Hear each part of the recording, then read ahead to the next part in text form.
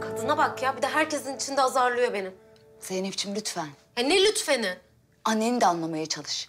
Onun da yaşadıkları hiç kolay değil. Öyle mi Jale teyze? Benim yaşadıklarım ne olacak peki? Ona defalarca sordum babamı. Hiçbir cevap vermedi. Ağladım, yalvardım, ayaklarına kapandım ama bana hiçbir şey söylemedi. Bunların hepsi onun suçu tamam mı? Hayır değil. Hepsi benim suçum.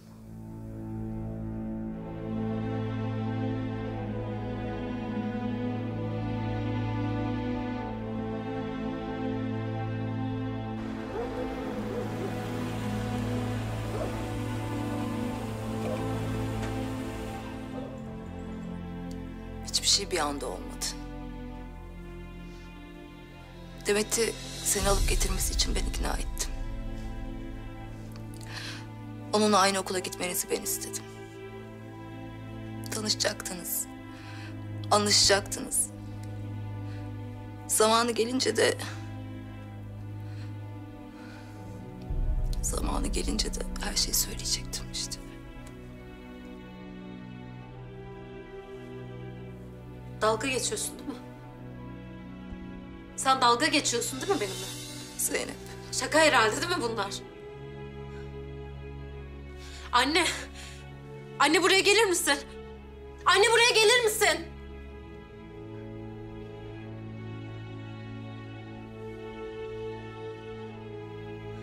Ne diyor bu kadın? Ne diyor bu kadın? Doğru mu söyledikleri? Zeynep.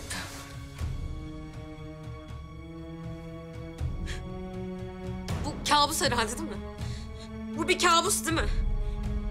Sen nasıl bir insansın ya? Sen ne yaptığının farkında mısın?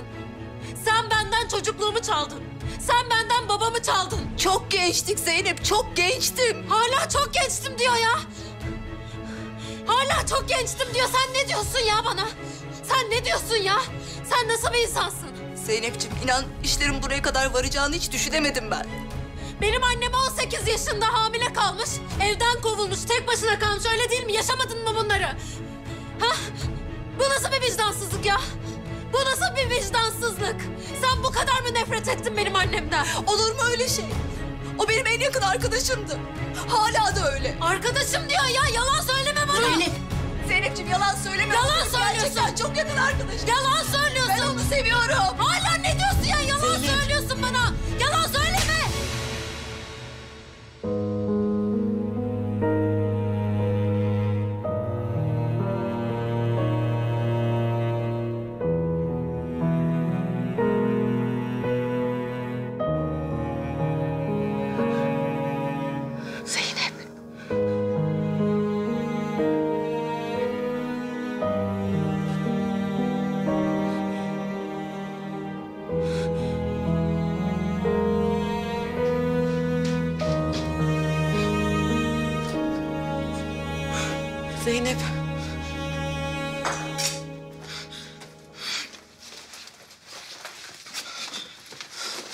Nereye gidiyorsun?